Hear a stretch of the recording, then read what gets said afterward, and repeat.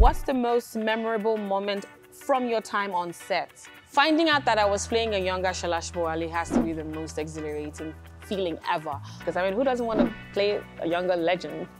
With so much food on set, who ate the most? One day I had corn in the morning, then I had bread with akara, then I had pap, then I had rice, then I had eba. I will leave you to do the math of who ate the most. What was the most enjoyable scene to shoot?